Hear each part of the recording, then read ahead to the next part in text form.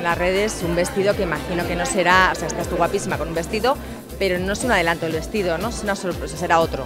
Sí, claro, el vestido se, se, enseña esa noche, sí, sí, sí. Esta vez otra vez con Ramón, que es una, me imagino que te da mucha ilusión repetir con él. Sí, claro, es paisano, compañero y además pues un gran maestro, ¿no? Y feliz, feliz. ¿Tienes algún ritual antes de salir a dar las campanadas? Como por ejemplo que te dé suerte el color rojo, pues alguna cosa... Bueno, estamos tranquilos ahí justo antes con el equipo técnico y Normalmente también porto conmigo alguna cosa que homenajeo a algo que ha sido importante ese año conmigo, eh, algún objeto, alguna cosa y no sé, pensar en cosas buenas, ¿no? que eso es importante.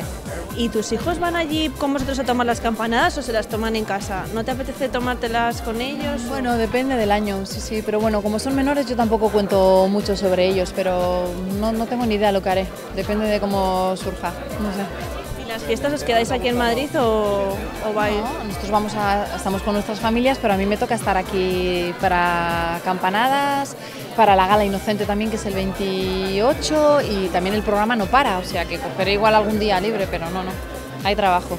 Un poco pues, pues como vivíais vosotros las navidades, es muy navideño. imagínate, es unas fechas que las vivimos en familia, además son dos tradiciones muy distintas, ¿no? las del norte y las del sur y en familia. Somos los dos muy familiares y con niños además yo creo que, es para celebrarlo y gracias a Dios estamos todos juntos, o que muy bien.